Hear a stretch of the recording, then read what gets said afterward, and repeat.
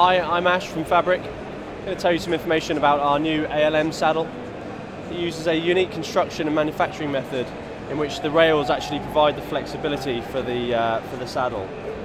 That means we can reduce the amount of foam on the top and keep the weight of the whole saddle to a minimum and it's got to be one of the most comfortable lightweight saddles on the market today. We designed it in collaboration with Airbus using FEA finite element analysis.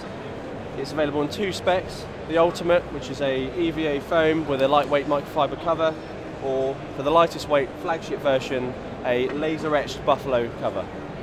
The comfort itself is actually provided by the rail rather than traditionally the foam, uh, and that means we can keep it down to about 145 grams at £225 retail.